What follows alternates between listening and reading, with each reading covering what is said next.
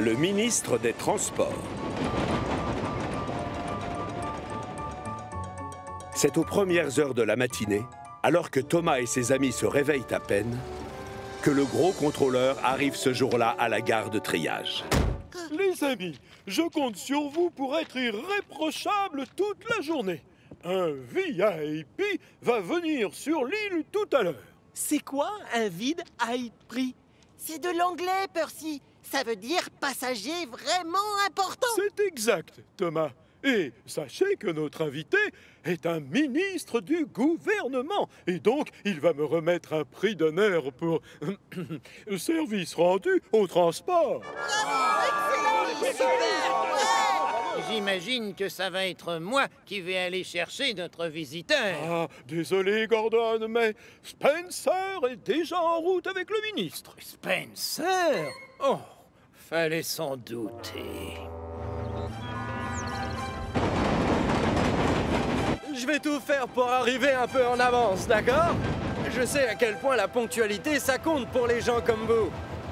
Ah, merci beaucoup, Spencer. Garde bien les yeux sur les rails, je te prie.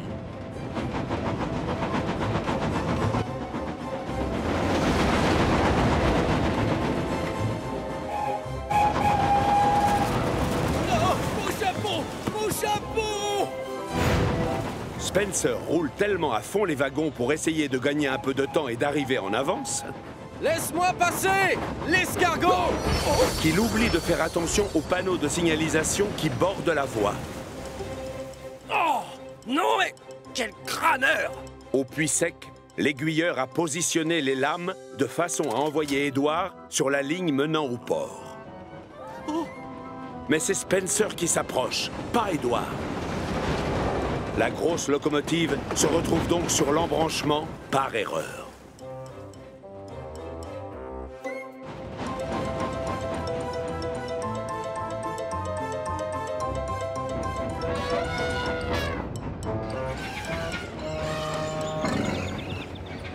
On ne devrait pas être déjà arrivé aux quatre vents? Peut-être que je devrais rouler encore plus vite, non? Peut-être. Le souci, c'est que Spencer ne se trouve plus sur la ligne qui dessert les quatre vents. Il se trouve maintenant sur la voie qui conduit à la mine d'argile.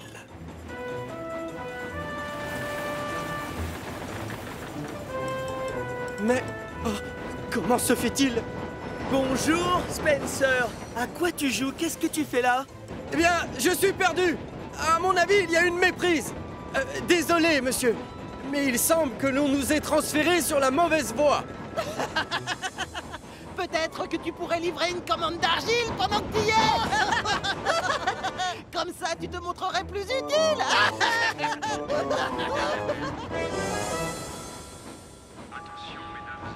C'est donc avec énormément de retard sur l'horaire prévu que Spencer arrive enfin à la gare des Quatre Vents. J'ai pris ce train pour vous remettre le Grand Prix des Transports. Seulement, il y a un hic. Je suis loin d'être impressionné par ma locomotive. C'est le moins que l'on puisse dire. vous... Et Il est hors de question que je retourne chez moi avec cette locomotive. Oh, pas de souci. Moi, je vais vous ramener sur le continent, monsieur. Merci, Gordon, mais euh, c'est à moi de décider qui raccompagnera le ministre en fin de journée.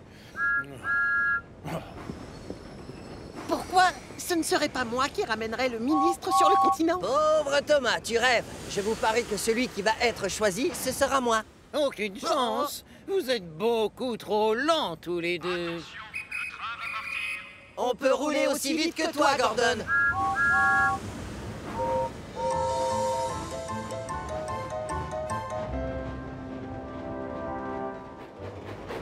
Ce jour-là, toutes les locomotives ont travaillé à fond les wagons pour montrer à leur chef qu'elles aussi pouvaient rouler vite.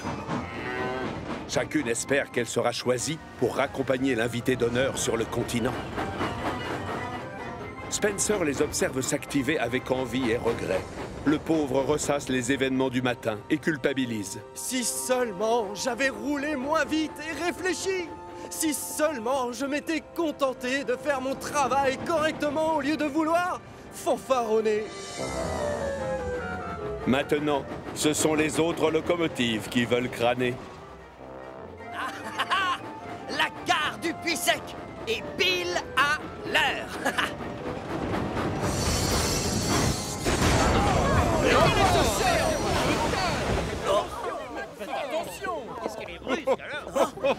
James, pense aux pauvres passagers. Tu ne dois pas freiner aussi brusquement. ah oui? En tout cas, mes passagers peuvent descendre sur le quai. Pas les tiens. Euh... À trop vouloir gagner du temps, les locomotives font n'importe quoi. Résultat, tout le monde est en retard.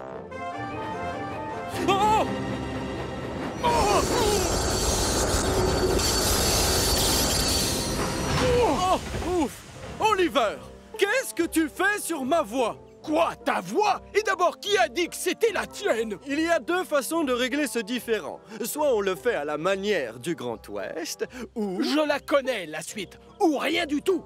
Comme toujours, c'est toi qui veux être chef. Toutes les locomotives font n'importe quoi et commettent des bêtises. Mais dans cette catégorie, c'est Thomas qui remporte la palme.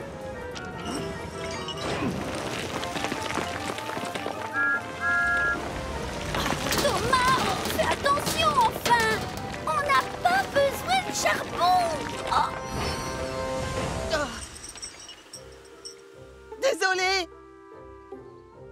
Forcément, à la fin de la journée, le gros contrôleur est terriblement déçu par son équipe de locomotives. Tout le monde a le droit de faire des erreurs. Mais quand on veut en mettre plein la vue et rouler très vite, on fait souvent encore plus d'erreurs que d'habitude. Et vous avez tous fanfaronné sur les rails.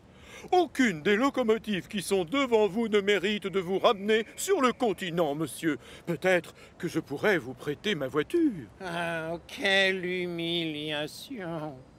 Peut-être que vous devriez me laisser accompagner notre invité sur le continent Tu es sûr, Spencer? J'ai retenu la leçon, faites-moi confiance, monsieur. Et je vous demande juste de m'accorder une autre chance. C'est Spencer qui a raison. Nous faisons tous des erreurs et nous méritons tous une seconde chance. J'ai décidé d'oublier ce qui s'est passé aujourd'hui et peut-être que je serai de retour demain matin pour voir si ces locomotives sont aussi efficaces qu'on le prétend. Oui, monsieur. Et merci, surtout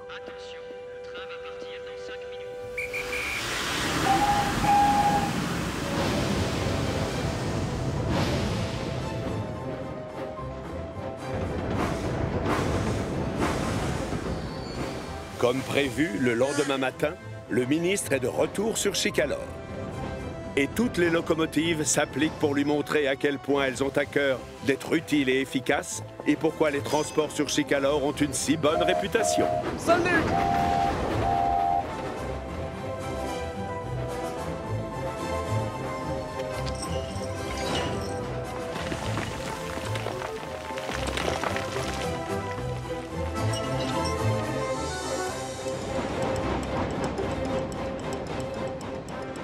Excellent Vous pouvez être fier.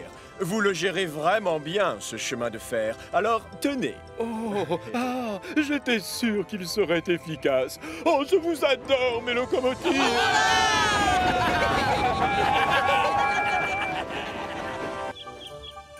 Le monde sur un wagon. Le soleil brille ce jour-là au-dessus de Chicalor.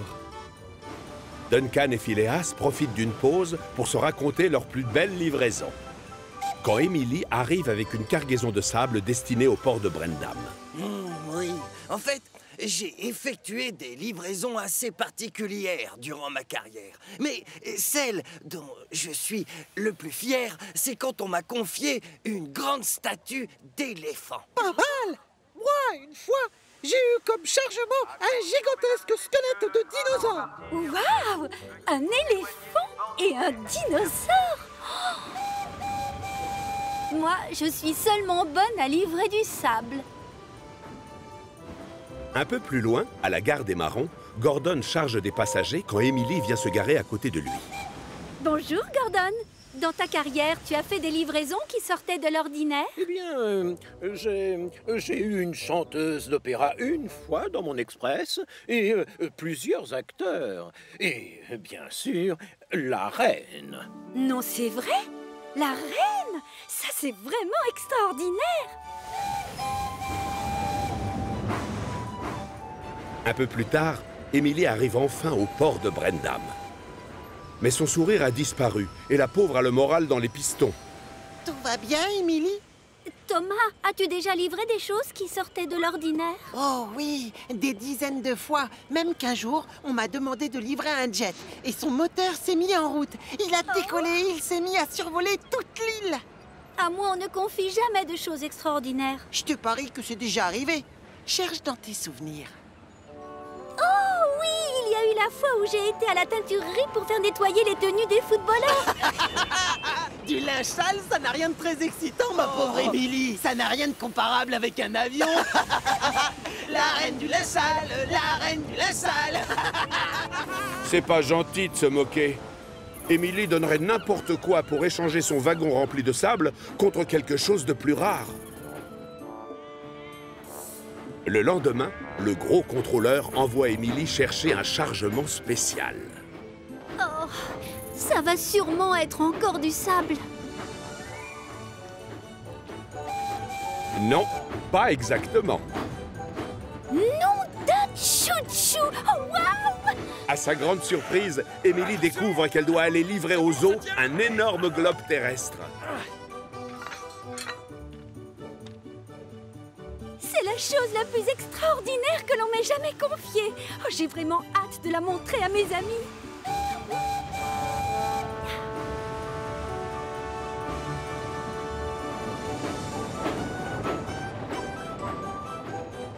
Émilie file à toute vapeur jusqu'à l'atelier de réparation. Mais sur place, il n'y a pas de locomotive à qui elle peut faire admirer sa cargaison.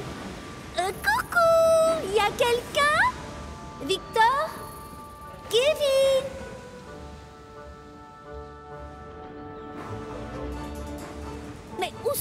Les autres locomotives C'est alors qu'Émilie aperçoit Gordon. Mais le temps qu'elle arrive à la gare, Gordon a déjà redémarré et il est trop loin pour qu'elle l'appelle. Oh non Pour une fois qu'elle transporte quelque chose d'original, Émilie ne trouve personne auprès de qui se vanter. Du coup, au lieu de se rendre directement aux eaux, elle décide de partir à la recherche des autres locomotives. Et c'est la catastrophe.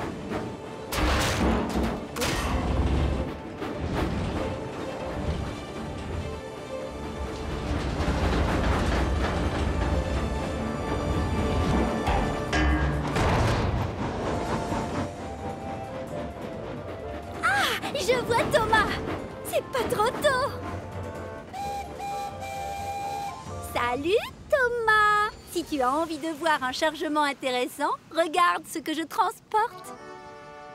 Qu'est-ce que tu en penses? C'est génial, tu ne trouves pas? Euh... Tu parles de quoi, Émilie? Tu ne vois pas? Le globe géant sur mon wagon plat.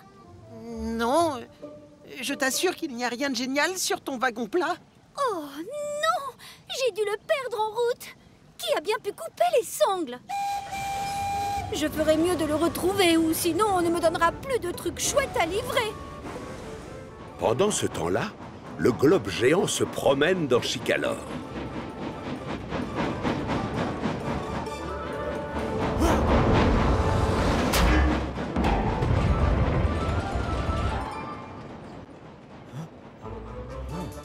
Paniquée, Émilie le cherche partout, sans succès. Un globe bleu géant avec les continents, ça ne disparaît pas dans la nature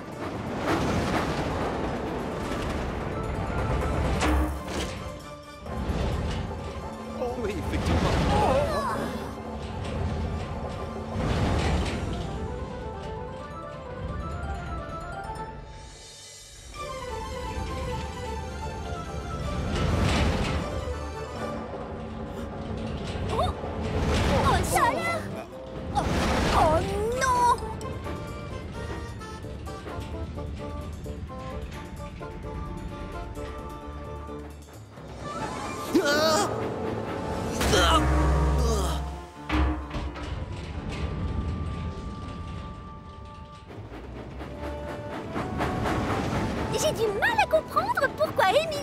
Inventer cette histoire de globe terrestre géant Je suis d'accord avec toi. Comme si on allait la croire. Désolée de vous interrompre, mais ce serait bien si on pouvait accélérer. Pourquoi? Simplement parce qu'il y a un globe qui fonce droit sur nous trois Oh,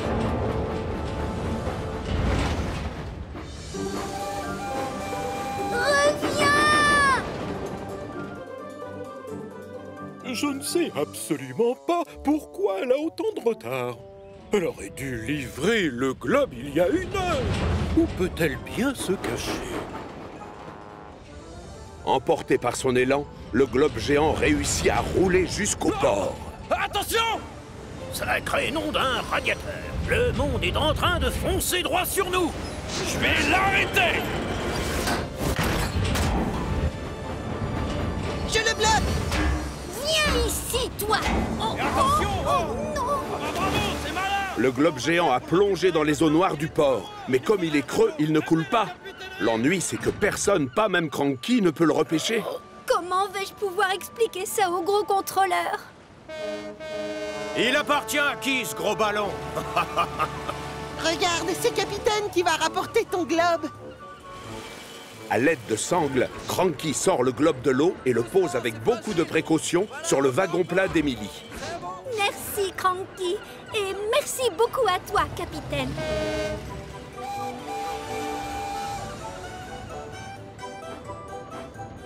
Ah, enfin te voilà, Émilie. Tu es très en retard. J'ai des excuses à vous faire, monsieur. C'est rare que j'ai un chargement spécial, alors j'ai voulu le faire admirer. Hélas, ton comportement a causé des perturbations et du retard. Mais l'important, c'est que tu sois enfin arrivé. Maintenant, on va mettre le globe devant le portail. Attention de ne pas l'abîmer. Bravo, Émilie. Grâce à cette aventure, c'est toi qui as fait la livraison la plus extraordinaire de l'année. Peut-être que je préfère les livraisons plus tranquilles, finalement.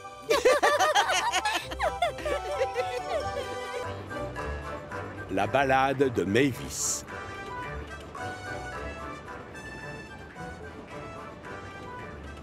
La carrière de Farcar, l'une des plus anciennes de la petite île de Chicalor. Et la locomotive diesel en charge de cet endroit, c'est Mavis. Elle passe ses journées à pousser des wagons farceurs remplis de grosses pierres. Mettez-vous en ligne et tenez-vous prêts. Cet après-midi, vous partez faire un tour sur le port. Ce n'est pas un travail facile tous les jours, mais Mavis sait se faire respecter et elle arrive toujours à ses fins avec les wagons farceurs. Ce jour-là, une grosse commande de pierre a été passée et il va falloir aller la livrer sur le port. Thomas et Diesel ont été chargés d'en assurer le transport, mais ils n'arrivent pas à choisir lequel des deux devra se placer en queue de convoi. Ce serait quand même plus logique que ce soit moi qui me place à l'avant, non? On est chez moi. C'est ma ligne principale. Arrête de grogner, Thomas Comme tu es le moins costaud, ta place est à l'arrière. Quand on demande à un diesel de venir te donner un coup de roue, c'est pour qu'il soit le chef Oui Je peux très bien les tracter sans ton aide. C'est ça, bien sûr. Alors là, je rigole. Les deux wagons farceurs sont hélas bien trop lourds pour une locomotive. Et surtout un microbe à vapeur dans ton genre. Vous allez arrêter de vous disputer. Vous n'avez pas idée de la chance que vous avez. Moi, je dois travailler dans cette carrière tous les jours. Alors que vous, au moins, vous pouvez profiter du reste de l'île. Oh, ça doit être joli, la plage. Ça te dirait de jouer les locomotives de secours, Mévis? Oh non, Thomas. J'ai encore beaucoup de travail à finir ici. Je dois préparer des wagons et les remplir. Aucun souci, Diesel se fera un plaisir de te remplacer jusqu'à ce que tu reviennes. Oui, je reconnais que c'est très tentant. Enfin, si Diesel est d'accord, j'accepte. C'est une idée qui m'enchante déjà. Eh bien, j'en ai une meilleure encore. On va faire cette livraison tous les deux, Mavis. Les diesels sont forts et à la pointe du modernisme. Ensemble, on va faire un boulot du tonnerre. Eh bien, euh, je suppose que oui. Merci, Thomas. C'est adorable de ta part. Tu vas voir, tout va très bien se passer. Au revoir, Thomas. À tout à l'heure, alors. Tu dois préparer des wagons pour une livraison. Ils sont attendus sur le port avant 16 heures. Mais je te conseille de te méfier. Ils peuvent parfois être très dissipés. Je sais comment on s'y prend pour se faire obéir des wagons farceurs. Faisant contre mauvaise fortune bon cœur, Thomas se met aussitôt au travail. Il remplit les wagons de pierre et les aligne sur une même voie. Mais les wagons décident de ne pas lui faciliter les choses, d'autant qu'ils ont horreur d'être bousculés. Hé, ah, doucement Ils n'aiment pas être tractés non plus. Non, arrête Laisse-nous tranquille Thomas finit rapidement par en avoir assez. Il compte les minutes et attend avec impatience le retour de Diesel et de Mavis. Oh, mais quel bonheur immense de rouler sur une voie qui longe l'océan. Ah, tu ne peux pas savoir comme ça me fait plaisir d'entendre ça. Merci de m'avoir laissé travailler à tes côtés, Diesel. Mais on devrait peut-être rentrer maintenant. non, y a rien qui presse. On forme une bonne équipe, alors il faut continuer. Oh. Ces wagons de marchandises doivent être livrés ou en gare. Allez, viens.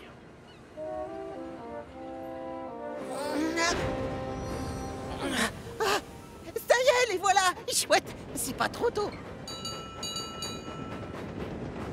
Vous n'êtes pas Mavis et Diesel Je n'avais jamais dit qu'on l'était. Enfin, je crois. Je l'aurais entendu si tu l'avais dit. Mais tous ces wagons farceurs doivent être emmenés au port. Et moi, j'ai besoin d'une locomotive en queue de convoi. Tu ne voudrais pas travailler avec moi, Toby? On a déjà fait équipe? Désolé, mais je suis trop vieux pour supporter les wagons farceurs, Thomas. Et puis, d'ailleurs, je dois raccompagner les mineurs chez eux pour le dîner.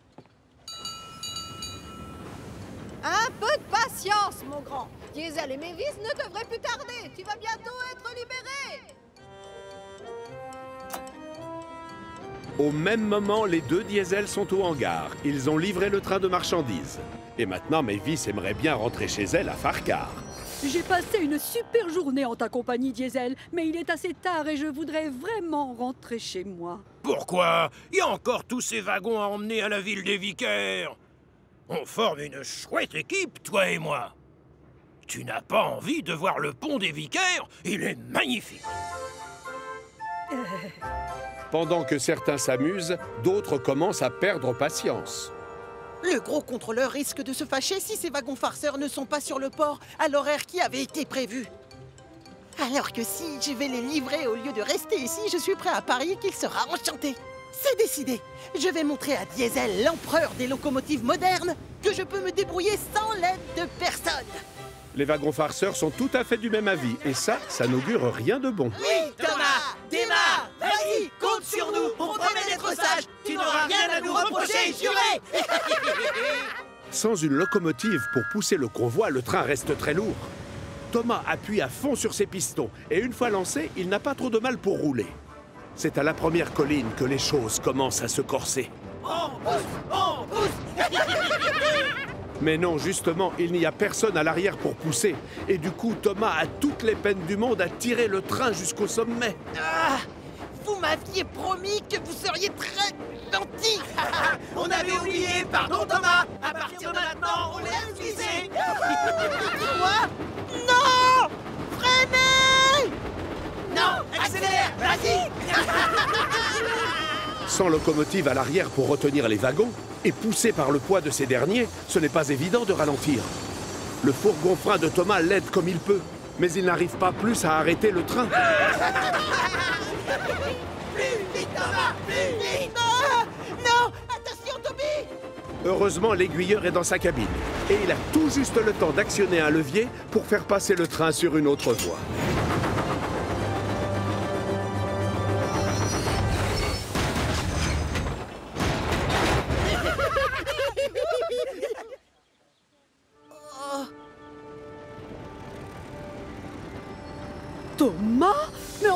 Qu'est-ce qui t'arrive? Vous mettiez du temps, alors j'ai perdu patience.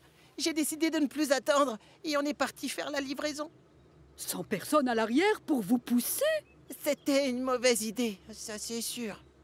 Désolé, Thomas. Et pourtant, si tu savais combien de fois j'ai essayé d'avertir Mavis, mais tu la connais. Moi, je voulais rentrer. Quoi? Tu n'as jamais dit qu'il... Oh Oh Oh Oh, oh. Pour se faire pardonner, les deux diesels offrent leur aide pour remettre sur les rails Thomas et les wagons farceurs. Oui, D'accord, le méchant Diesel et Mévis n'auraient jamais dû t'abandonner aussi longtemps tout seul. Mais toi, tu dois savoir qu'on ne tire pas un tel train sans une locomotive à l'arrière. Oui, je vous demande pardon, mais je voulais simplement me rendre utile. Le gros contrôleur renvoie Mévis à la carrière de Farcar. Pour faire ce qu'elle fait de mieux, évidemment. Et comme c'est un gentil chef et qu'il a compris qu'elle aimait la mer, de temps en temps, il l'autorise à effectuer les livraisons elle-même sur le port. Ces jours-là, vous pouvez être sûr que Mavis est la plus heureuse du monde. Oh, c'est beau la balade qui mène à la mer. Oui, c'est beau la balade le long des quais.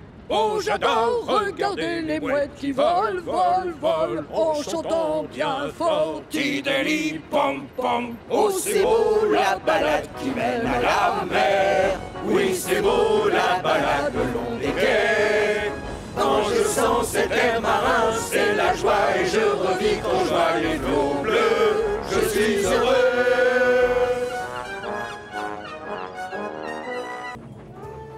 Toujours là quand il faut. Édouard fait partie des plus anciens dans l'équipe du gros contrôleur. Et il est multitâche, ce qui signifie qu'il alterne entre le transport de passagers et le transport de marchandises. Sur Chicalor, ce n'est pas le plus petit. Mais il n'est pas parmi les plus grands non plus. D'ailleurs, certaines grosses locomotives adorent le taquiner. Surtout Gordon. C'est dommage que tu sois si vieux et si lent, Edouard. Tu n'es pas franchement performant. Quoi? Comment ça? Tu es lent et très souvent tu es en panne. Quoi? Ça fait des mois que je ne me suis rien cassé Vraiment?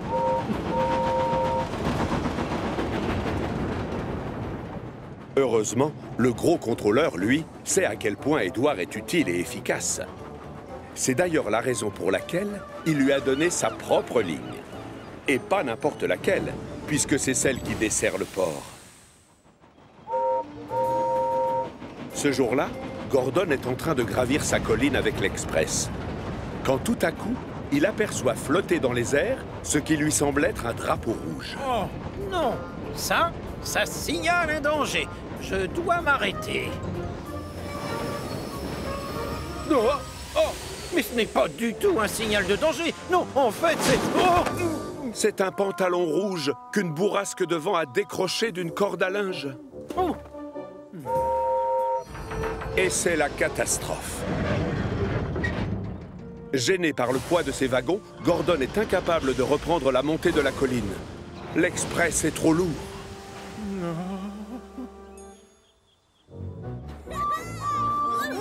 Un tout petit peu plus tard, Édouard arrive à la gare du Puy Sec. Le chef de gare lui fait alors signe. Gordon est coincé sur sa colline. Il faudrait qu'une locomotive aille lui donner un coup de roue. Oh, pourquoi moi? Oh. Et c'est moi qui ne suis pas performant, paraît-il. J'hallucine. Sur sa colline, Gordon attend impatiemment l'arrivée d'Édouard. Mais c'est Émilie qui apparaît. Alors comme ça, on fait la sieste, Gordon? J'ai hâte qu'Edouard arrive et me pousse jusqu'en haut. J'ai tellement honte que l'on me voit comme ça. Oh, oh mon pauvre Je vois que tu es encore coincé sur ta colline. Ce n'est pas de ma faute, Thomas. Il se trouve qu'il y avait un pantalon rouge sur la voie et je l'ai confondu avec un signal de danger. Un pantalon? Ça, c'est très drôle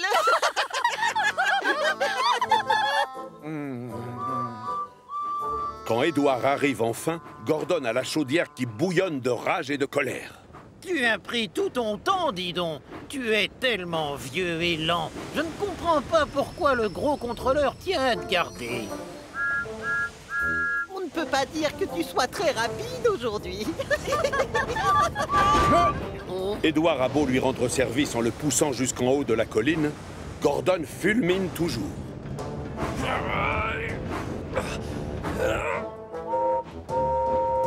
L'Express passe avant tout Gordon, ne t'embête pas à me remercier surtout pourquoi Gordon est-il aussi peu reconnaissant? Il aurait pu me remercier gentiment, après que je l'ai poussé. Il répète que je suis vieux, lent et qu'on peut absolument pas se fier à moi. Peut-être que nous devrions lui donner une bonne leçon ce soir. J'ai une idée.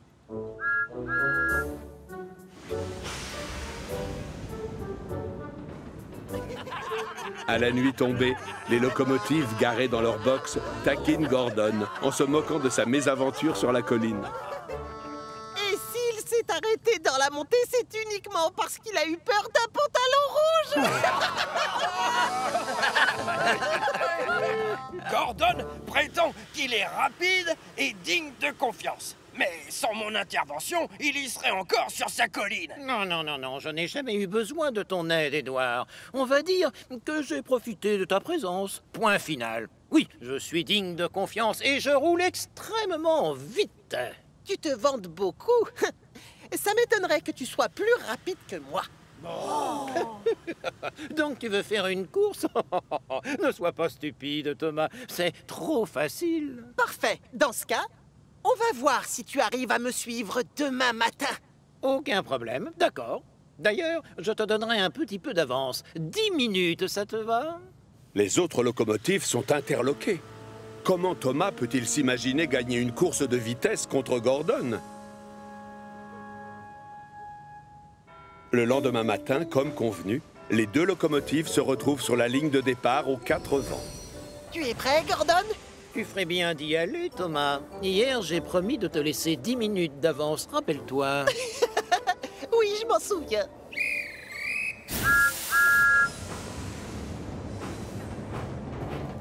J'espère sincèrement que tu sais ce que tu fais, Thomas. On ne veut pas se ridiculiser. Ne vous inquiétez pas, mesdemoiselles. Tout est sous contrôle. Pour l'instant, Thomas fait la course en tête, mais il sait que son rival va vite le rattraper. Accélère J'aperçois Gordon, il est juste derrière. Il va nous dépasser. Alors ça, c'est ce qu'on va voir.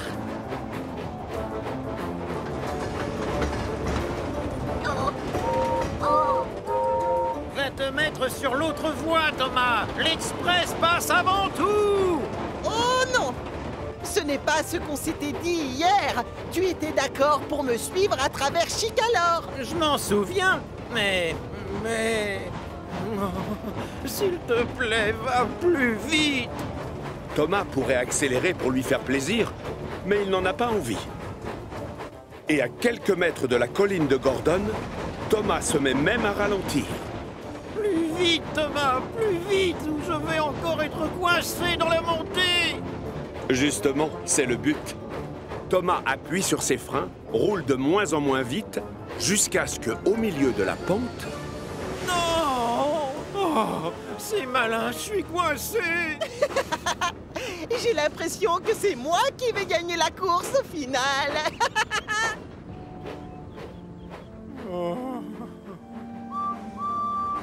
Salut, Gordon Tu as donc renoncé à faire la course avec Thomas, ce que je vois.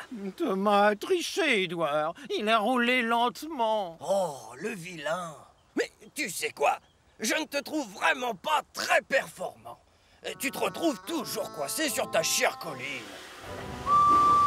Attends, Edouard, tu ne voudrais pas m'aider en me poussant? Oh Mais je croyais que tu n'avais pas besoin d'aide venant de moi Rappelle-toi, je suis trop vieux et tellement peu efficace Mais bien sûr que j'ai besoin d'aide. Et si je promets de ne plus être méchant, tu me pousserais jusqu'en haut? Pitié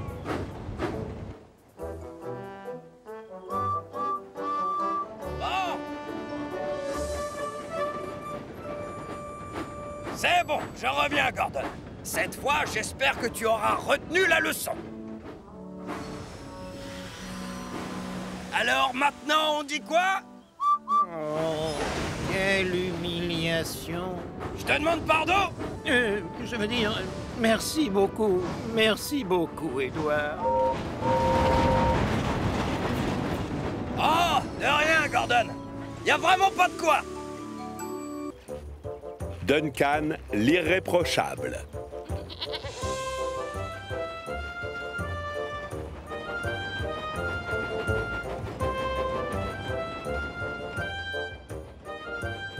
Comme toutes les locomotives de Bellevue, Duncan a une spécialité. Lui, c'est le transport de passagers. Chaque matin, il emmène les gens travailler. Et le soir, il les ramène chez eux. Une minute de retard. Ah, misère. Salut Duncan Comment vas-tu? Comment je vais? Je vais te dire comment je vais. J'ai une roue qui n'arrête pas de trembloter. Mais pourquoi tu vas pas voir Victor? Ne m'en parle pas. Je suis déjà allé à l'atelier, mais Victor m'a dit que ma roue allait parfaitement bien. N'importe quoi. As-tu remarqué l'état des rails au gué du mont Frêne Non Pourquoi? Ils sont comment les rails? Ne le demande pas au contrôleur à lunettes, parce que lui, il les trouve nickel. Pourtant, à chaque fois que je passe dans la zone, mes essieux s'entrechoquent et ma cheminée frissonne. Et depuis, j'ai une roue qui tremblote. Oh, attends Pour couronner le tout, je transporte un passager qui n'arrête pas de ronchonner et de se plaindre. Tu te rends compte? Il a même eu le culot de dire que je ne faisais pas mon travail correctement. Bah, reconnais que tu as un peu de retard ce matin. Oh Ne commence pas Duncan a un gros défaut. Il n'est jamais content. Mais ce qu'il a dit sur son passager, c'est la vérité. Le monsieur Grognon se plaint et ronchonne presque autant que Duncan, ce qui n'est pas peu dire. Il se met en colère quand Duncan est en retard. Si les wagons sont pleins, ça le met encore plus de mauvaise humeur. Et il ne supporte pas les arrêts imprévus. C'est pas vrai Avance, allez, pourquoi on s'arrête? Mais il n'aime pas non plus quand Duncan roule trop vite. Ah Et alors, j'ai renversé mon café parce qu'il roulait beaucoup trop vite. Non, c'est un scandale. Je me plaindrai à son chef. Salut, Duncan Ça n'a pas l'air d'aller? Ah non Je transporte un passager grognon et il me tape sur les pistons. Il n'est jamais satisfait, alors que franchement, il n'a aucune raison de se plaindre de moi. tu crois ça, toi? Sérieusement? Quoi? Hmm. Si j'ai fait quelques erreurs, dorénavant, je n'en ferai plus aucune.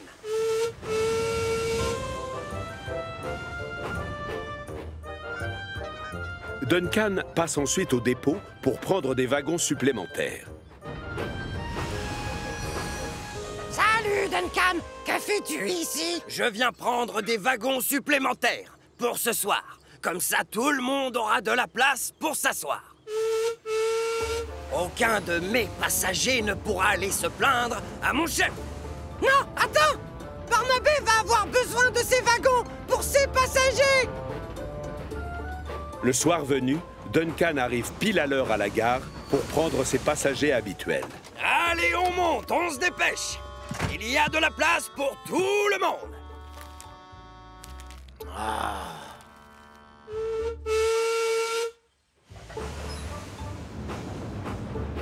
Mais les passagers de Barnabé, eux, n'ont pas autant de chance. Hé, Duncan Qui t'a permis de prendre mes wagons? Rends-les-moi Vous avez des explications, Un peu plus loin, Duncan aperçoit des ouvriers qui réparent quelque chose près de la voie. Oh non! Encore un chantier! Si je commence à freiner, je vais sûrement avoir une plainte de la part de mon passager. Du coup, Duncan décide de ne pas ralentir. Ce qui met les ouvriers travaillant sur la voie très en colère. En arrivant à la gare, Duncan a le sourire pour changer. Il est très content de lui. Ses passagers aussi. Enfin, tous sauf un, évidemment.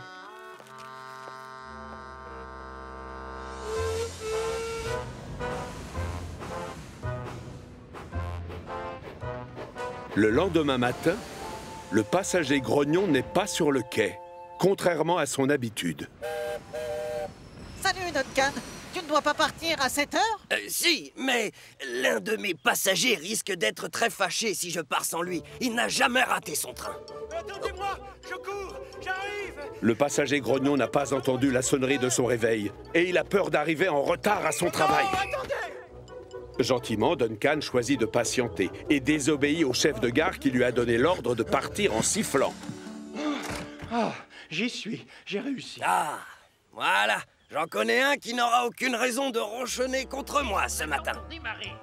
Mais la colère gronde chez les autres passagers, puisque maintenant, eux risquent d'arriver en retard à leur travail. Le chef de gare est furieux lui aussi. Oh, dépêche-toi, Duncan. J'ai besoin de ta place. Je suis bien en retard maintenant. Et mes passagers ne sont pas contents. Tu les entends? Décidément, tout le monde rouspète. Non, mais qu'est-ce que c'est que cette compagnie de chemin de fer? Et ces gens ont l'impression de faire du travail sérieux. Ah Je rêve, tous les jours il y a un problème. Les banquettes sont inconfortables, les trains sont toujours en retard, c'est n'importe quoi. Duncan accélère pour essayer de rattraper le temps perdu. Mais voilà qu'il repasse sur la portion de voie en chantier. Je ne peux pas être en retard. J'en ai assez d'entendre tous ces gens se plaindre. Hé, Duncan, Mais ça va pas la tête C'est la Quoi que je fasse aujourd'hui, j'ai l'impression que c'est mal. Et ça ne va pas s'arranger. Une mauvaise surprise attend Duncan au terminus. Monsieur, je sais bien de quoi vous voulez parler et euh, je suis profondément désolé. Cette sincérité t'honore, Duncan, mais pourquoi as-tu emprunté les wagons de Barnabé, foncé sur de malheureux ouvriers et ignoré un signal de départ? C'est à cause de lui. Il a passé son temps à se plaindre. Je voulais seulement qu'il arrête de me critiquer. Duncan, sache que je le connais très bien, cet homme-là. En fait, il adore rouspéter, et à chaque trajet, il trouve toujours une raison de se plaindre. Mais aujourd'hui, tu as mis tout le monde en colère. Oui, bien sûr. Ça, je le sais, monsieur. Dorénavant, tu dois prendre sur toi et ignorer ses remarques. Et je compte sur toi pour faire ton travail correctement. Bien sûr. Merci, monsieur.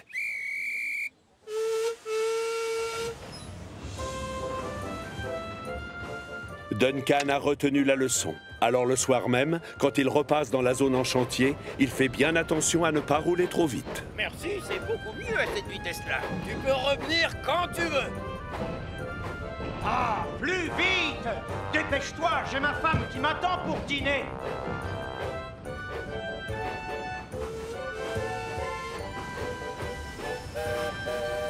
Bonsoir, Duncan. C'est surprenant de te voir avec le sourire à la fin d'une journée chargée. Chargée, oui, mais excellente aussi. J'ai appris quelque chose de très important aujourd'hui.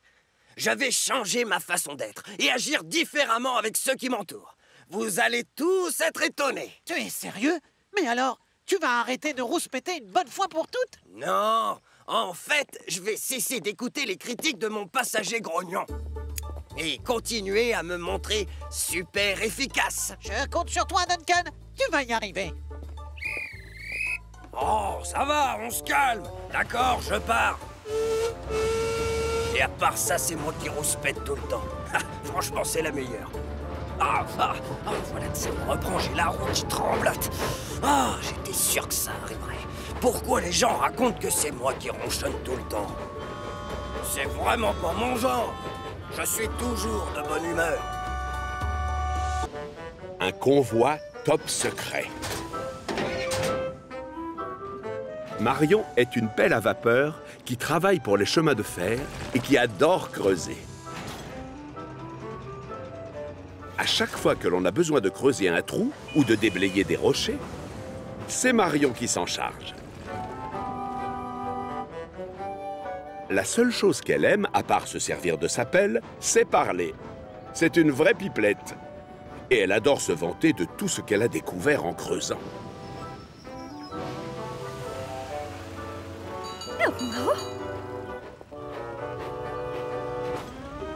Lui, il vivait il y a très longtemps et, et c'est moi qui l'ai trouvé. J'ai remué la terre et je suis tombée sur un os. C'est pas des archéologues qui ont déterré le squelette Non, ils ont terminé la fouille à ma place, mais le plus dur, c'est moi qui l'ai fait. Les archéologues travaillent avec de tout petits outils. C'est compliqué de creuser avec. Tu comprends? Moi, je suis une professionnelle.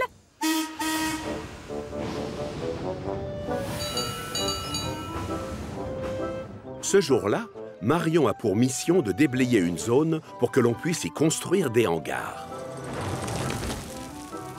Coucou Oh, bonjour Thomas, je ne t'ai pas entendu arriver. Alors que tu étais tout près, je suis peut-être trop concentrée, pardon. Tu me fais rire, Marion. Tu me préviens si tu déterres quelque chose d'original, comme un autre squelette de dinosaure. Oh, promis un deuxième dinosaure, ça m'étonnerait. Pourquoi pas un trésor de pirate Ou alors une très vieille statue Ou euh, un tuyau Oh, ça c'est dommage. Thomas, lui, a été chargé par le gros contrôleur de livrer des plantes et des pierres au château des elfes, chez le comte. Secoue-toi, Amélie La voilà oh, Vite, prévenez monsieur le comte Hé On décharge Oh Oh Salut, Thomas On attend une livraison importante qui arrive du continent C'est nous qui sommes chargés de la réceptionner. Une livraison? De quoi? J'ai seulement des plantes et des pierres pour vos jardins. Non, ça n'a rien de spécial des pierres et des plantes. C'est une surprise. On ne sait pas ce que c'est, mais c'est très gros à ce qu'il paraît. Très gros et super grand. Thomas se creuse les méninges pour deviner ce que c'est. Cette nuit-là, alors que Marion dort tranquillement sur la voie de garage, un bruit la tire de son sommeil. Elle croit entendre un train rouler sur la voie d'à côté. Elle ouvre les yeux et aucune locomotive à l'horizon. À la place, elle aperçoit un dinosaure. Non, c'est impossible. Je suis en train de rêver. C'est un cauchemar.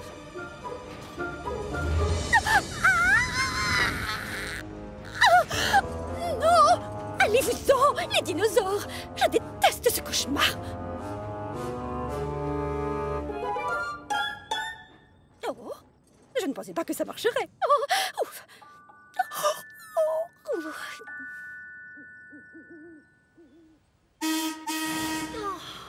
Après cette nuit agitée, Marion est très fatiguée et elle a du mal à se mettre au travail. Coucou Oh, c'est toi, Thomas oh, oh, tu m'as fait peur Vraiment désolée. Je ne fais pas exprès de rouler doucement et je sifflerai la prochaine fois. Non, Thomas, ce n'est pas de ta faute. J'ai fait un mauvais rêve cette nuit. Il faut que tu me crois. J'ai vu des dinosaures, de vrais dinosaures qui marchaient le long de la voie, là où tu es. Des dinosaures Mais enfin, ça fait longtemps qu'ils ont disparu. Bien sûr, les dinosaures vivaient ici sur Terre il y a super longtemps, plusieurs millions d'années, bien avant que les locomotives, les êtres humains et les pelleteuses aient été inventés. tu as raison, Marion. C'était forcément un rêve horrible.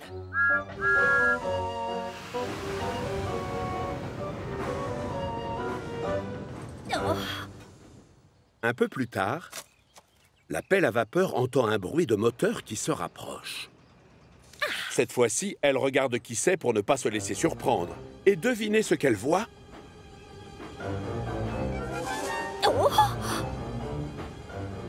Des dinosaures? Réveille-toi, Marion, réveille-toi. Finis de dormir. Allez, on se réveille, tu fais encore ce rêve. Ah non, ce n'est pas un rêve. Oh on s'écarte On s'écarte. La pelle à vapeur est attendue ailleurs. Oh. Au secours. J'entends un moteur. Mélie, à nous de jouer. Prévenez monsieur le comte, vite Le convoi top secret est arrivé Oh. Ça n'a pas l'air d'être la livraison qu'on attendait.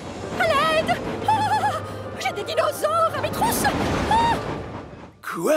Elle doit faire erreur. Il n'y a plus de dinosaures depuis très longtemps. Oh Stephen, je les vois. Ils montent vers le château. Relevez-le pour le vite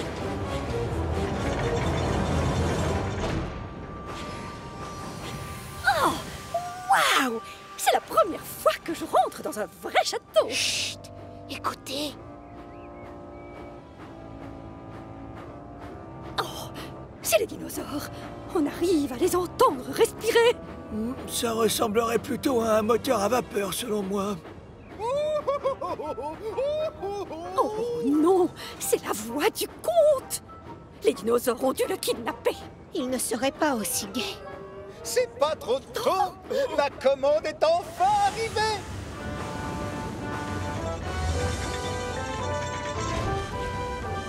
Oh Oh non, mais regardez-moi ça Ce sont réellement des dinosaures Je ne pensais pas que j'en verrais un d'aussi près un jour. Bonjour, monsieur. Je suis Samson, à votre service. Enchanté, Samson, mais la livraison était prévue pour hier soir. Oh, c'est forcément... Oui Oh, la commande spéciale, c'est ça? Euh, c'est la première fois que je viens à Chicalor, monsieur. Je suis arrivé dans la nuit et il faisait noir. Et ensuite? J'étais perdu, alors j'ai dormi dans une carrière. J'ai dû attendre le matin pour me renseigner. Mais me voilà enfin. Avec ces fabuleuses répliques grandeur nature pour mon tout nouveau parc Quoi? Vous ouvrez un parc? Oh, ne t'inquiète pas, Marion. C'est du plastique. Non, euh, c'est impossible, je me le disais bien. Aujourd'hui, on ne trouve plus de vrais dinosaures sur Terre. Exactement. Voilà pourquoi j'ai décidé d'ouvrir un parc de dinosaures chez moi. Pour que les gens puissent y venir et admirer à quel point ces créatures extraordinaires étaient magnifiques. Mais euh, en attendant, je te demande, ma chère Marion, de voir sur tes chantiers si tu ne trouves pas des fossiles ou des os datant de la même époque. Oh, euh, oui, oui, oui, oh, inutile de me le dire deux fois. Et je vous parie ma pelle qu'il y a plein de squelettes de dinosaures dans la carrière. Oh non, dans la mine d'argile. C'est un miracle. Elle avait perdu sa langue et elle l'a retrouvée. Oui, visiblement Mario n'a plus l'air d'avoir aussi peur des dinosaures. Tu vas voir, on va avoir des trous dans tous les coins, même dans les gares. Par où commencer? Oh, j'ai l'embarras du choix. Oh, je vais bien m'amuser. Une aventure mouvementée. Autrefois, Oliver et Toad travaillaient ensemble pour les chemins de fer du Grand Ouest. Ils en ont vécu des aventures tous les deux. Seulement le souci, c'est qu'Oliver est très vantard et qu'il ne se lasse pas de raconter ses exploits. Et ensuite, il y a eu la fois où je me suis retrouvé abandonné en plein milieu de la décharge. Oh, moi qui aime l'aventure, j'ai adoré. J'aurais dû en faire un film. Oui, je sais, monsieur Oliver, j'étais là-bas avec vous, vous vous rappelez? Et vous m'avez déjà raconté l'histoire cent fois. C'était la première fois qu'un membre du Grand Ouest réussissait l'exploit de se tirer d'affaire seul. C'était la pleine lune cette nuit-là. Et le vent secouait les arbres comme des pruniers. Et pourtant, j'avais pas peur. Je ne manque pas de courage. Ce doit bien être la centième fois que Toad entend cette histoire. Il était même capable de la réciter en même temps qu'Oliver. Toad aurait donné n'importe quoi pour changer de locomotive et ne plus avoir à supporter son bavardage. Ça oui Mon aventure dans cette décharge est certainement celle qui restera dans les annales des exploits de Chicalor J'en mettrai mon piston au feu Ah, Toad a de la chance. Son souhait est exaucé. Oliver se voit confier une mission et il doit laisser son fourgon frein. Au revoir, Toad À tout à l'heure On continuera notre discussion plus tard Enfin tranquille. Toad savoure ce moment de calme et de silence. Ce qu'il aime un peu moins par contre, c'est rester à la même place sans rien faire. Du coup, il se prend à rêver à une aventure qu'il pourrait vivre lui-même. Les fourgons freins, pouah Je ne comprends pas pourquoi on nous force à en prendre un. Je n'ai jamais eu d'accident, moi. Pardon, monsieur James, euh, bonjour. Vous avez besoin d'un fourgon frein, si j'ai bien entendu? Je peux vous aider peut-être Toi Et en quoi es-tu différent des autres fourgons Allez-y, demandez autour de vous. J'adore aider tous ceux qui transportent du charbon et mes freins sont super costauds et... Oh, oh, dites oui, monsieur James. Ah oui, bon d'accord, ça va, oui, j'accepte. Mais alors dépêche-toi, j'ai pas toute la journée, moi.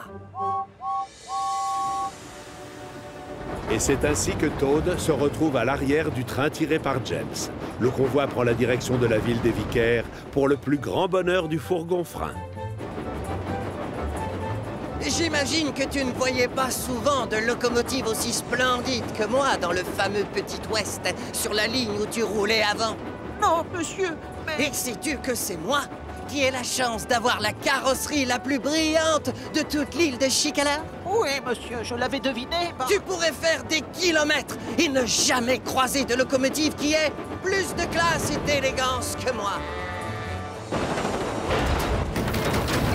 Oh, oh, oh, on est vraiment obligé d'aller aussi vite, monsieur Oh, monsieur James Je ne suis pas un escargot. Plus vite j'aurais livré ce maudit train à la ville des vicaires, et plus vite je pourrais recommencer à transporter des voyageurs.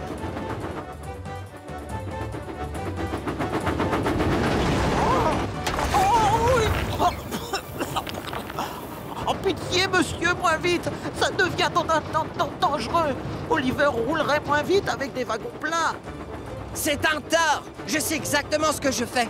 Je roule toujours à cette vitesse. Alors rassure-toi Alors qu'il s'approche de la colline de Gordon, James appuie à fond sur ses pistons. Secoué comme un prunier à l'arrière, Toad commence à trouver cette aventure pas si chouette que ça finalement. Oh, misère Oh, que j'ai peur. Tu vois, mon grand, rien ne peut me ralentir. Oh.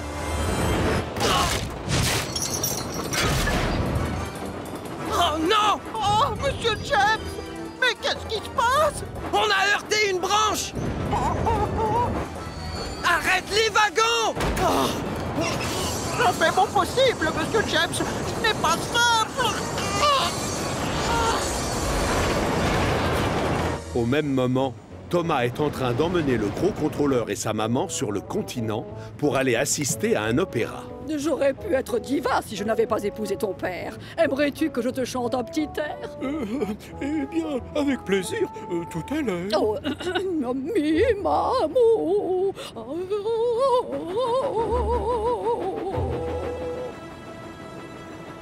Oh, passez-moi, je surchauffe Oh, oh. Est-ce qu'on s'arrête Regardez devant, monsieur. Thomas, marche arrière, marche arrière Thomas, attention. Percy Non Oh non On n'évitera pas l'accident. Ah Oh Oh Oh Oh non. Toad comprend tout de suite que Thomas et Percy n'ont pas eu le temps de reculer pour lui dégager la voie. Il sait donc qu'il est le seul à pouvoir sauver la situation. Il va nous rentrer dedans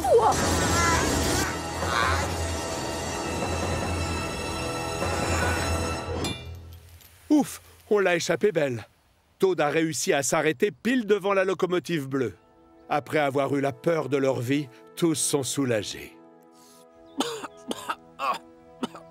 Alors là, chapeau, Toad Oh, merci, monsieur Thomas. J'ai juste... fait mon travail, en fait.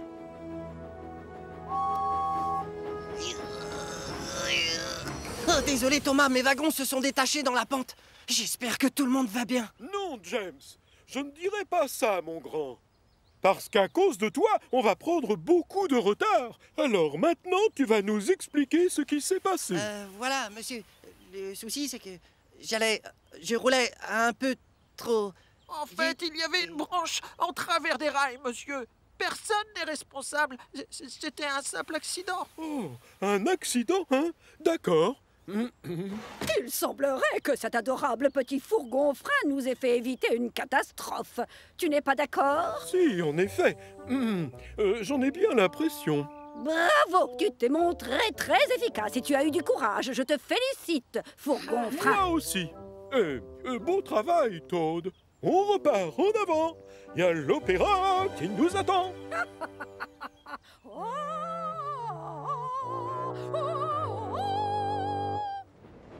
Toad n'arrête pas de penser aux compliments que lui a fait Donatien Hat. Il ne s'est jamais senti aussi fier. Vous pouvez rouler un peu plus vite si vous en avez envie, monsieur James. Euh, non, je te remercie, Todd, mais comme ça, c'est bien. On n'est jamais trop lent, ni trop rapide. C'est ce que je dis toujours à mes wagons. Tu m'as beaucoup aidé aujourd'hui. Merci encore. Non, non, c'est moi qui vous remercie, monsieur. Appelle-moi James. Oh, coucou, monsieur Oliver. Salut, je suis de retour Quand je vais te dire ce qui m'est arrivé, tu ne vas jamais le croire. Que je te raconte depuis le début, tu vas avoir tous les détails. Une petite minute, Oliver. Je crois que tu devrais plutôt demander à Toad qu'il te raconte l'aventure passionnante qu'il a vécue tout à l'heure. Quoi C'est sérieux?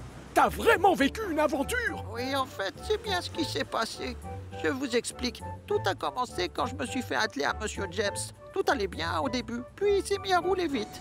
Et quand on est arrivé au bas de la colline de Gordon, on avançait à une telle vitesse que j'en avais les roues qui tremblaient. Je suis désolé, mais dans le genre aventure, on a fait mieux. C'est pas tout. À un moment, on a vu une grosse branche posée en travers des rails. Non Si Le souci, c'est qu'on roulait beaucoup trop vite. Impossible de freiner à temps. Oh Et alors Qu'est-ce qui s'est passé ensuite? Ah, J'ai commencé à avoir la peur de ma vie. Passionnés par l'histoire, les locomotives se regroupent autour du fourgon-frein pour connaître la suite de son aventure.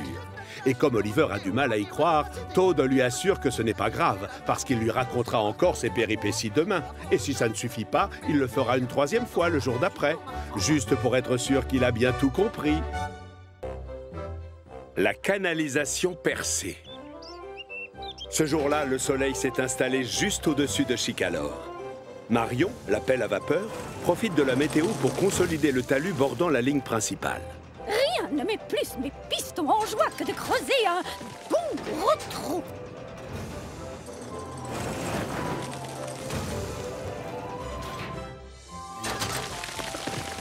Ce n'est pas tout à fait vrai. À part creuser des trous, Marion adore raconter aux autres locomotives ce qu'elle a déterré. Malheureusement, les locomotives, elles, raffolent beaucoup moins des histoires de la pelle à vapeur. Et si elles peuvent l'éviter, elles n'hésitent pas. Oh, tiens, bonjour, Percy. Je t'ai déjà raconté la fois où j'ai trouvé tout un tas de pièces d'or romaines dans un trou Euh, oui, je connais déjà l'histoire. Désolé. J'ai des wagons à, à les livrer. Salut L'Express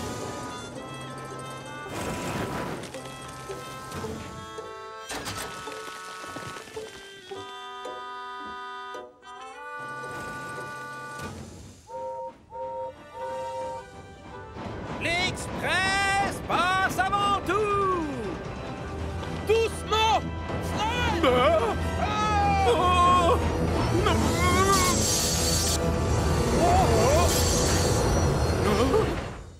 Fais attention où tu mets ta pelle, Marion Oh, Gordon, laisse-moi te raconter la fois où, où j'ai découvert dans un trou le squelette d'un énorme mammouth. Je suis pressé. Un autre jour. Mon express n'a pas le temps d'écouter des histoires.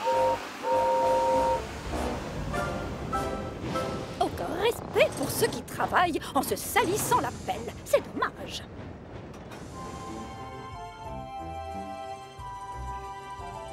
Alors que Marion a presque terminé de remblayer le talus, Thomas annonce son arrivée.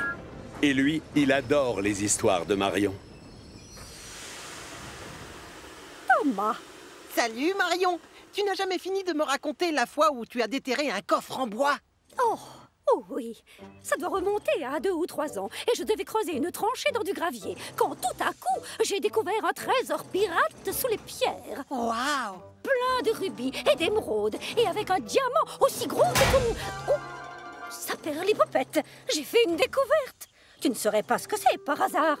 Ben, on dirait une canalisation Oh, qui apporte l'eau Non, voyons. Ceci, c'est un mât qui provient d'un navire de vikings. Je suis presque sûr que ce n'est pas ça. Enfin bref, je dois te laisser, Marion. Il faut que j'y aille. Oui, je sais. Va travailler. Oh, magnifique cette terre. Et quelle super découverte. Oh. Oh. Oh. C'était bien une canalisation. Oh. Je vais vite combler le trou et personne ne le saura. Oh.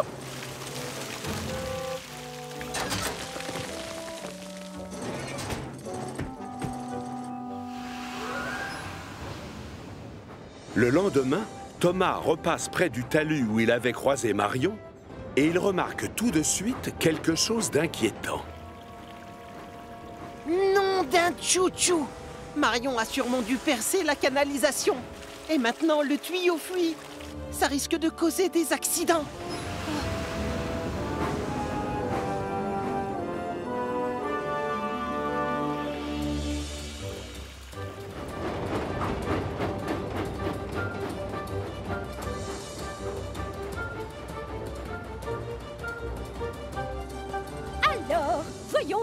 Lequel de vous a envie de jouer à deviner ce que j'ai dans ma pelle. Cherchez, c'est très facile. Oh, c'est pas évident. Je dois réfléchir. Euh, Je sais, ce ne serait pas des bananes. Non, deuxième essai. C'est un, un troupeau de brebis. Non, dernier essai. C'est de la terre. Exact. Bien deviné, bravo. À chaque fois, c'est la même réponse. Facile. Marion, tu as bien déterré une canalisation d'eau hier, et depuis, elle fuit. Pas du tout, Thomas. Je l'ai bien vu. C'était encore un autre trésor de pirate. C'est assez commun sur Chicalor. Hier, c'était un mât de navire viking, faudrait savoir. Je dis ça En es-tu sûr? Oh, Regarde-moi cette sublissime glaise. Elle est magnifique. Marion, non Tu dois venir. Bon, d'accord, je viens, puisque tu insistes.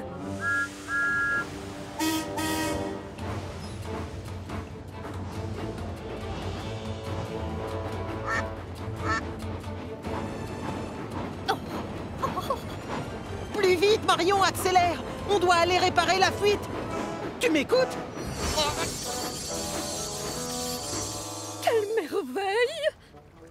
Vu cette jolie boue qui se trouve en dessous, Thomas? Si la fuite n'est pas colmatée, on va devoir fermer la ligne. Oh, j'arrive, du calme, j'ai compris. C'est totalement bouché. Je t'avais dit qu'il n'y avait pas de souci à se faire. Et confiance, regarde, il n'y a rien. Je t'assure qu'il y avait de l'eau tout à l'heure. Ce n'est pas grave, Thomas. On va rentrer à la mine d'argile. T'ai-je déjà montré ma collection de cailloux? Oh Oh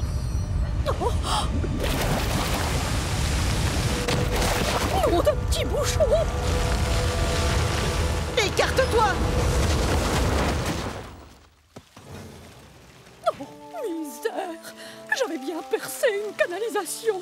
C'est une catastrophe, Thomas. Je suis désolée. Que fait-on maintenant? Tu vas dégager les voies pendant que moi, je préviens les locomotives. Action Marion appuie à fond sur ses pistons et fait marcher sa pelle encore plus énergiquement que d'habitude.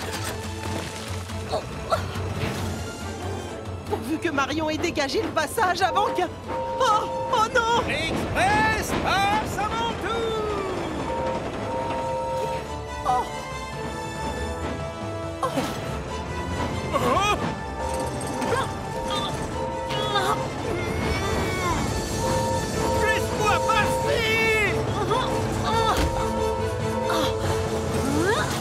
Attention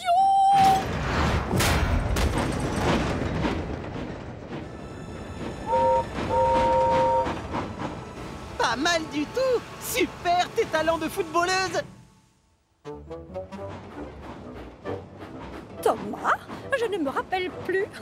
Je t'ai déjà raconté l'histoire de la locomotive bleue qui a sorti une pelle à vapeur d'un énorme trou. Non, désolé, mais ça ne me dit rien. Oh Attends une seconde, ça y est, je sais Tu parles de moi Merci pour ton aide tout à l'heure.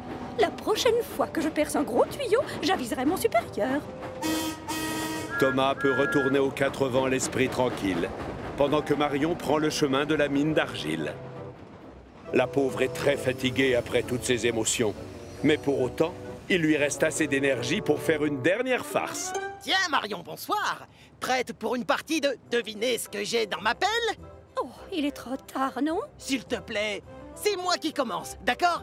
Est-ce que c'est une boîte de sardines? Non, Ben. À ton frère Est-ce que c'est une grosse poubelle en plastique? Non. Dernier essai Est-ce que c'est de la terre? Non. C'est un coffre qui devait appartenir à un pirate. C'est vrai? Non Je plaisantais. C'est de la terre. Excellent Je l'avais pas vu venir, moi non plus L'erreur de trop. S'il y a bien un adjectif qui décrit parfaitement Samson, c'est fier. Très fier même. La première fois qu'il a posé une roue sur Chicalor, c'était en pleine nuit. Samson venait livrer les répliques grandeur nature pour le parc de dinosaures du comte.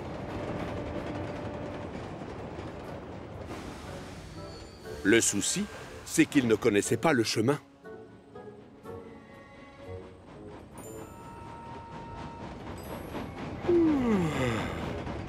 Et comme il est très fier, il n'a pas voulu s'abaisser à demander de l'aide. Alors bien sûr, il a fini par se perdre. Et il a atterri à la carrière de la montagne bleue. Les petites locomotives de Bellevue se sont gentiment moquées de son sens de l'orientation qui laissait à désirer, et Samson s'est senti un peu ridicule. Et ce n'est que le lendemain matin que Samson est arrivé à la gare du château des Elfes. Bonjour, monsieur. Je suis Samson, à votre service. Quelques jours plus tard, le gros contrôleur le convoque pour lui confier une mission. J'ai besoin de toi pour foncer jusqu'à notre jolie petite carrière et chercher une commande à livrer sur le continent. Ah, bien, monsieur, je pars immédiatement. Oh, j'ai besoin de charbon d'abord, chef. Va faire le plein alors. Mais Oh. pitié, si tu ne connais pas le chemin, tu t'arrêtes tout de suite et tu demandes que l'on t'aide. Je ne fais jamais les mêmes erreurs deux fois. Je sais maintenant comment on se rend à la carrière.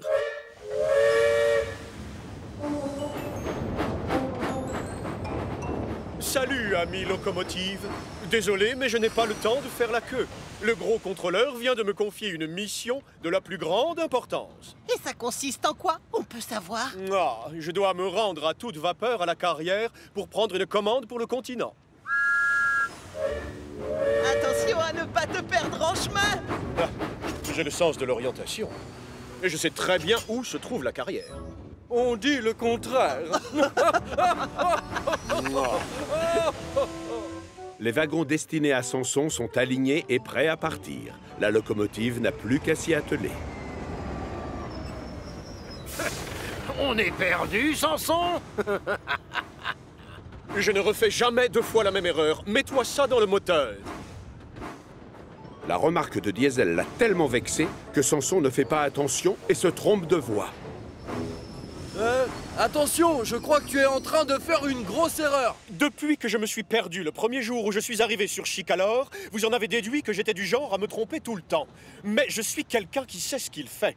Compris, si tu le dis, c'est que c'est vrai. Mais Ouh, ah, j'en ai assez. Il me parle comme si je débutais dans le métier. oh l'erreur. C'est le moment que choisit Thomas pour venir chercher les wagons de Gordon. Salut Stanley Où as-tu caché l'express? Je le vois pas. Samson est parti avec. Je suppose qu'il cherche à prouver à quel point il est utile en s'appropriant toutes les missions des autres.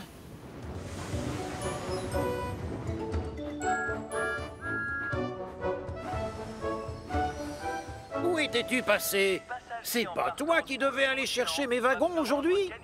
Non, je croyais que c'était Samson qui s'en chargeait. Faux Et le train express a déjà 20 minutes de retard sur l'horaire.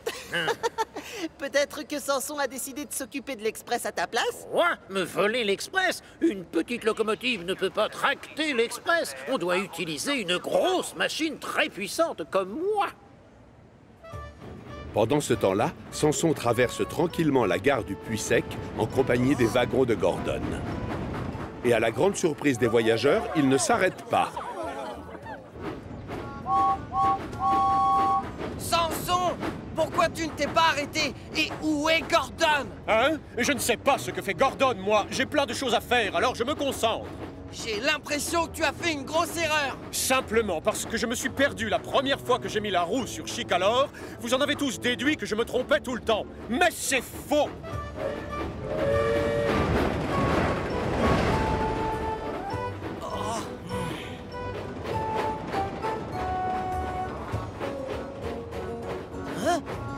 Qu'est-ce que je vois? Un nouvel express? Je ne fais pas de pointe de vitesse. Mais sachez, bande d'ignards, que je suis le plus costaud et le plus efficace de tout Chicalor. Très efficace, ça c'est sûr C'est bien, continue alors Je vous remercie Enfin deux locomotives qui reconnaissent mon utilité dans cette équipe. Pendant ce temps-là, aux quatre vents, l'heure tourne et les voyageurs commencent à rouspéter. Gordon ne peut pas partir puisqu'il n'a pas ses wagons. Le gros contrôleur est très en colère. Gordon, tu vas être obligé de prendre Annie et Clarabelle. Et toi, Thomas, tu circuleras avec Henrietta. Mais Henrietta roule avec Toby d'habitude. Oh, quelle humiliation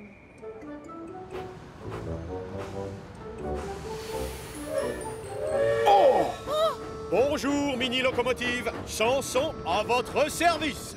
Chanson Quelle bonne surprise Je suis venu chercher la commande de Pierre, qui sera ensuite à livrer sur le continent.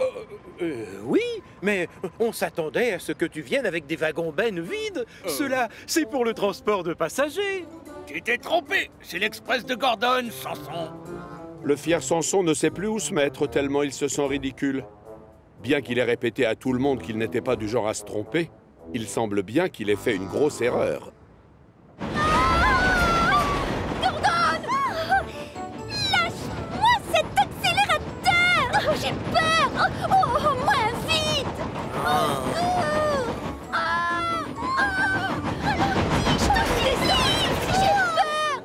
Annie et Clarabelle ne font jamais partie du train express. Elles ne roulent pas aussi vite avec Thomas.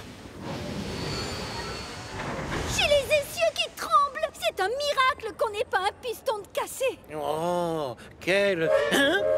Samson Mon express! Stop!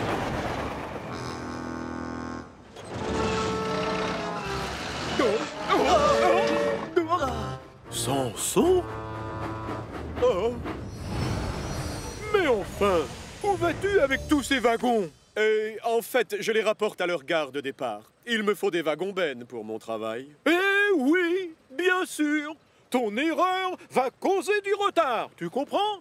Oh, désolé, toutes mes excuses, je ne l'ai pas fait exprès. C'est normal de faire des bêtises, on en fait tous, mais on commet plus d'erreurs quand on croit tout savoir mieux que les autres. C'est vrai, je m'en rends compte. Juré, je ne recommencerai plus, chef.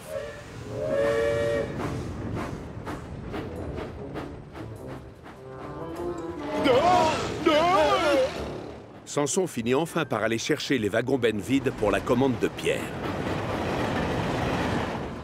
Puis, il roule à fond les wagons jusqu'à la carrière de la montagne bleue.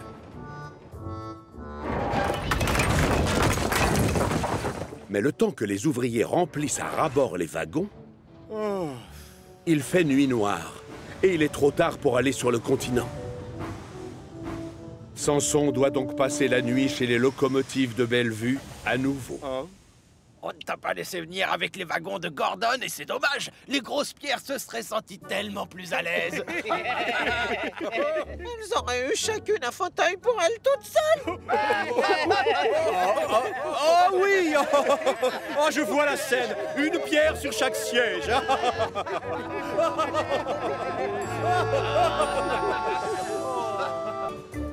Une idée lumineuse. S'il y a bien un endroit sur Chicalor où tout le monde travaille dur, c'est le port de Brendam.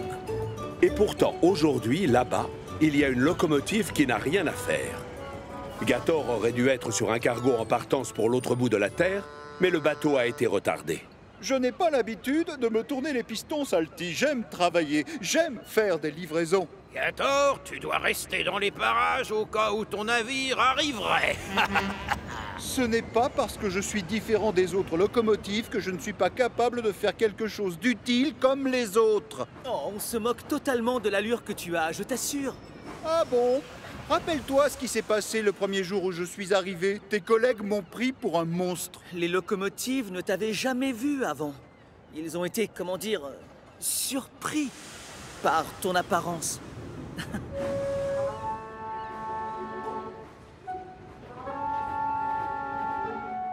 Le soir venu, Gator est toujours en train d'attendre quand le directeur du port vient le voir. Oliver devait venir nous apporter des wagons pour une livraison. Mais il est tombé en panne tout à l'heure sur la ligne de Duck. Ça t'ennuierait d'aller chercher les wagons et de revenir avant 6 heures? Non, pas du tout, monsieur. Génial Mais que ce soit clair Je dois être là à 6 heures. D'accord.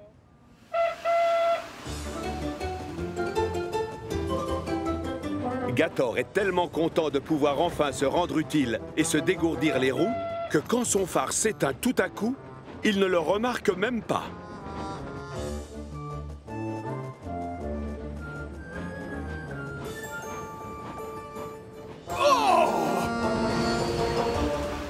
Es-tu Je suis Gator et ce n'est pas la peine de hurler, je ne suis pas un monstre, regarde Euh, Oui, je vois bien. Seulement, je ne te voyais pas dans le noir. Ton phare est cassé Mon phare est quoi? Oh Mon phare Zut L'ampoule doit être grillée. J'aurais dû m'en rendre compte dans le noir. Désolé, Oliver. Apparemment, c'est juste un court-circuit. Gator se dirige vers une boucle de retournement pour faire demi-tour et s'atteler au wagon.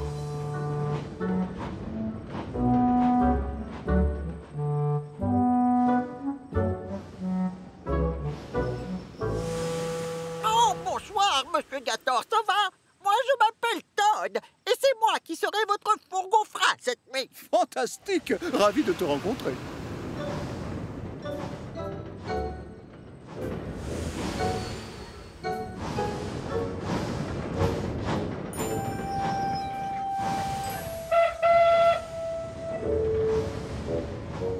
Au revoir, Oliver À plus au port, Gator À très bientôt Toad Au revoir, monsieur Oliver. On va bien s'occuper des wagons, promis. Soyez tranquille.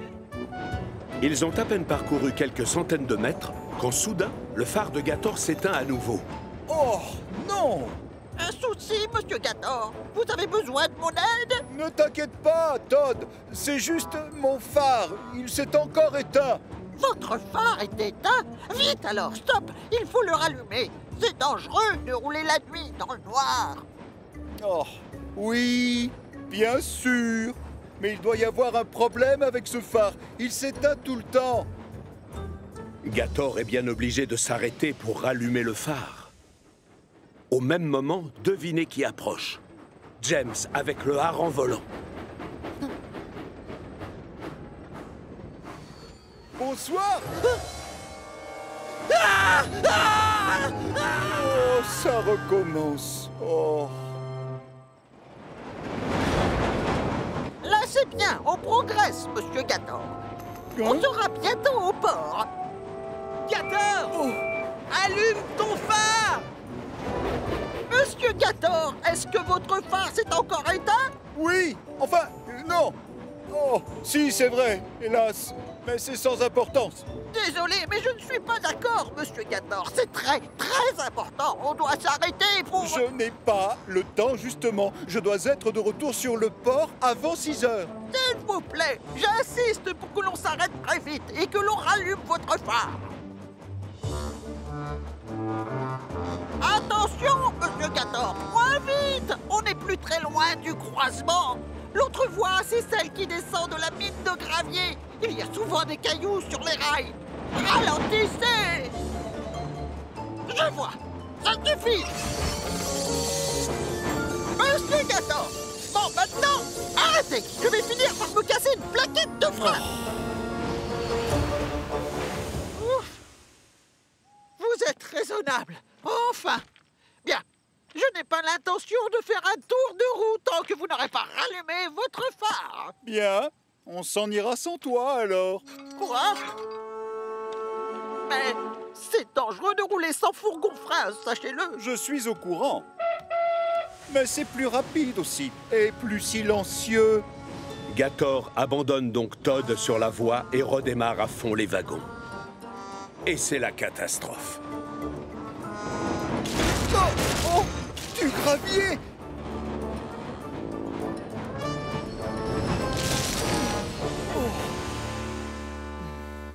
Todd est toujours en train de fulminer quand tout à coup, il entend un moteur. Salut Qui va là? Faites attention Je suis garé sur la voie Désolé, Todd. Tu avais raison, c'est trop dangereux. Et pardon de t'avoir laissé. Je n'ai fait que mon travail, monsieur Gator. Moi, je voulais simplement me rendre utile, tu comprends? Oui, tout comme moi. Quand une locomotive roule trop vite et prend des risques, il est de mon devoir de lui demander de ralentir. Et surtout si son phare ne fonctionne pas bien. D'autant plus, en effet. Je n'arrive plus du tout à le rallumer. Alors, je pense que l'on va rester coincé ici jusqu'au matin. Oh, peut-être que je ne suis pas aussi utile ni efficace que je le croyais finalement. Une idée géniale fuse alors dans la cabine de Todd. Monsieur Gator, moi j'ai deux lanternes. Et alors? Bah c'est simple, Si je vous prête une de mes lanternes, vous pourrez voir les rails et signaler votre présence aux autres locomotives. Aussitôt dit, aussitôt fait. Le conducteur a juste remplacé l'ampoule rouge par une blanche. Gator peut donc rouler jusqu'au port en toute sécurité. Pour le plus grand bonheur du fourgon frein. Beau travail, Gator Tu arrives pile à l'heure J'avoue que je me suis inquiété pendant un temps. J'ai eu quelques problèmes avec mon phare, monsieur. Il fonctionne bien pourtant, à ce que je vois. Cette lampe n'est pas à moi, elle appartient à Todd. Il a suggéré que je la lui emprunte comme mon phare ne marchait plus. Il a eu raison. Bien joué, Todd.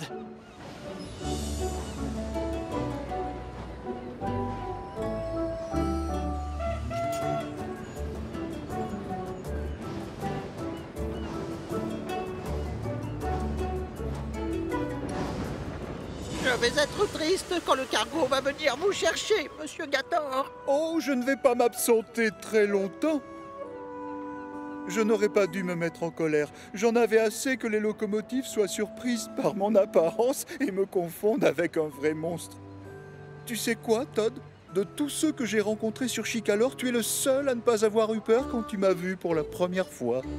En réalité, si, j'étais un peu terrorisé quand je vous ai rencontré, je peux vous l'avouer, mais il suffit de rien pour me faire peur, monsieur Gator. Oh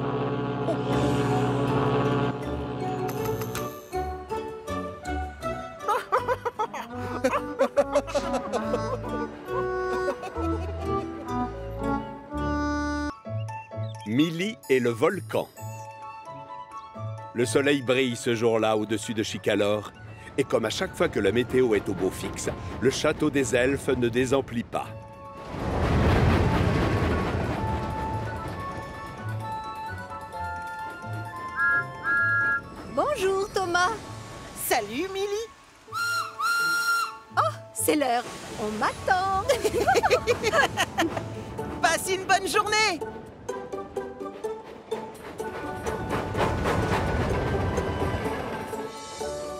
Bout de la propriété du comte, le chantier du nouveau projet est déjà bien avancé. Le parc des dinosaures est presque prêt.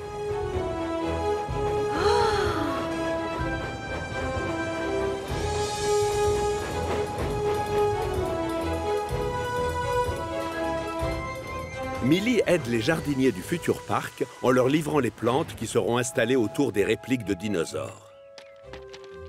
Et c'est Samson et Harvey qui s'occupent d'apporter et de décharger les animaux en plastique. Le train grue trouve d'ailleurs qu'ils ont l'air plus vrais que nature. Euh, celui-là, il s'appelle comment, Samson? Euh, C'est un Lexovisaurus, très cher. Tu crois? Euh, Tout à l'heure, tu m'as dit que c'était l'autre, le Lexovisaurus. Celui avec les gros piquants sur la queue. Samson se sent ridicule. Il a horreur de se tromper. Ça le vexe énormément.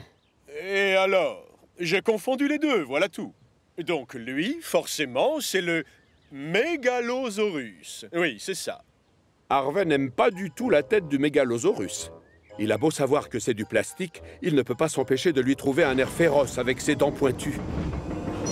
Oh,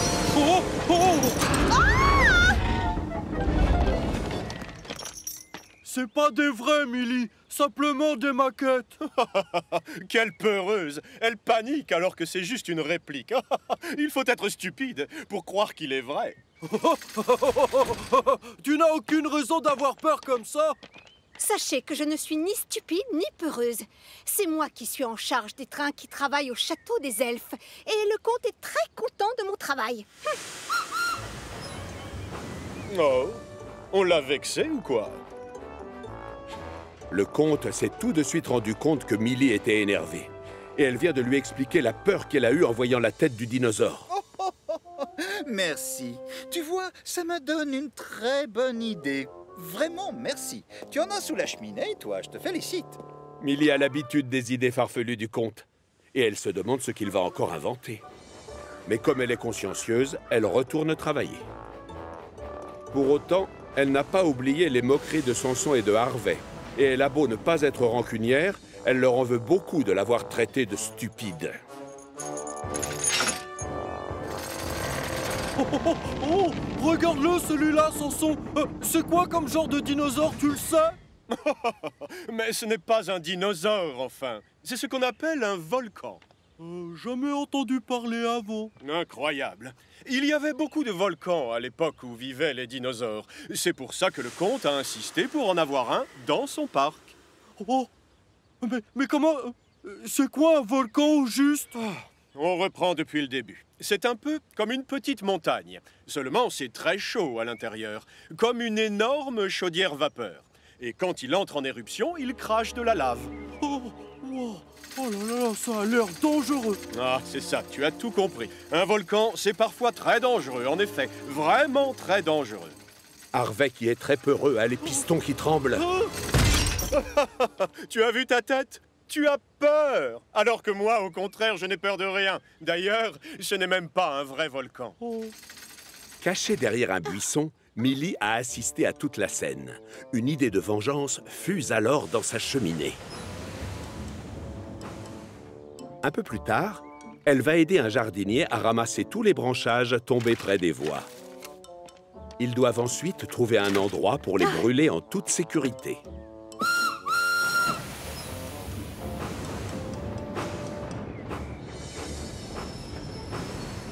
le feu, moi je propose que l'on s'installe ici. Oui, très bien, Amélie. Tu as raison et en plus on ne gênera personne.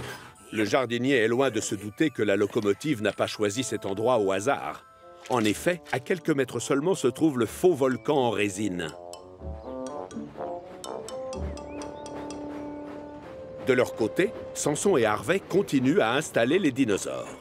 Quand tout à coup, ils aperçoivent une fumée très inquiétante. Oh pourquoi tu freines comme ça? Là-haut, tu as vu? C'est le volcan Mais...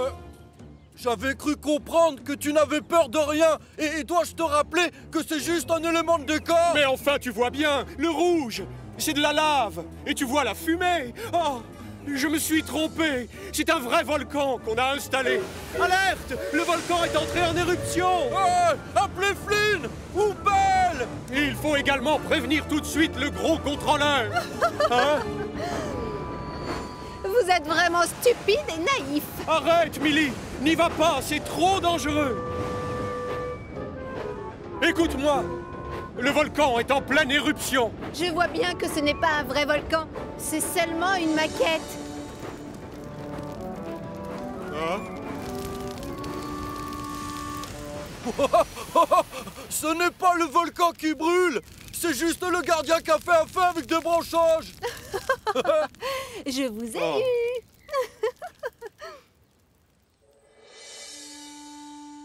Le comte a été mis au courant de la plaisanterie et il a convoqué les locomotives pour avoir une explication.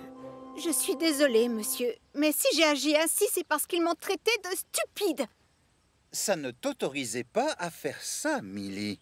Tu sais bien que tu n'es pas stupide et que tu vaux mieux que ça. Alors ignore-les s'ils se moquent de toi. Moi, je te trouve même très intelligente, au contraire. Très intelligente et capable d'avoir des idées géniales. Le parc de dinosaures est enfin ouvert. Et devinez qui a la chance de faire l'inauguration. Voilà, c'est par là. Permettez, très chère Donatienne. Merci.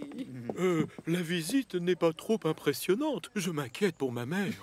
Non, non, allez-y sans crainte, c'est superbe. Et il ne vous arrivera rien. Allez, en avant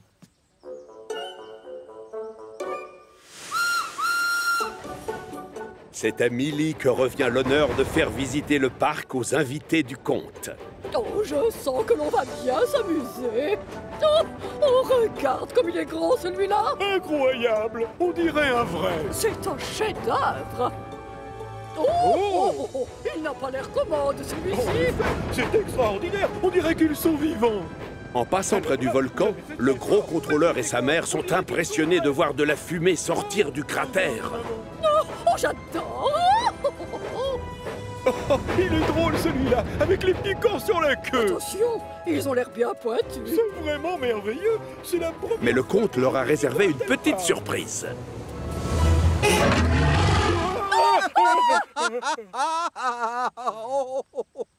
Non, ne craignez rien. Ce n'est pas un vrai dinosaure. C'est seulement une maquette qui bouge.